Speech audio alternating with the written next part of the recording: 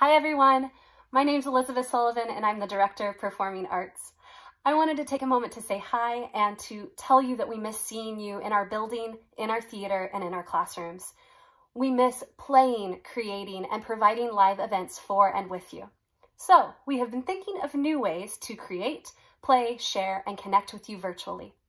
Some of our live events are going digital. Join us for our first ever Story Slam virtual edition. April 10th and May 8th. We'll start the evenings with a digital happy hour with music from local musicians at 7.15 and stories around 7.30. To check out details and how to join through Zoom, check our website. We will be releasing a virtual series called The Silent One, a climate change street opera, led by writer and composer Ric Averill and Mexican visual artist Mamuco. The project involves many different artists working together.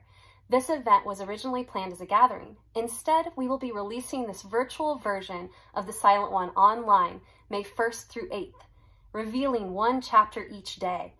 You can view this on our YouTube channel and details on the story and how you can get involved on our website. Summer Youth Theater auditions are going digital. We'll be accepting audition videos April 26th through May 10th. Check here for more details soon. Other exciting projects and ways to connect are coming your way, such as School of Theater and Music online classes, Zoom music concerts, digital play readings, interactive games, performance sharings, and a storytelling platform.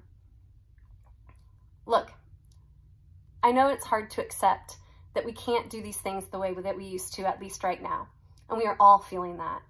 But we must keep going, we must connect, and we must continue to create for many reasons to keep ourselves busy, but as cheesy as it sounds, to nurture our souls. And once we start making art and connecting, it will feel good and we'll be glad we did. So long for now.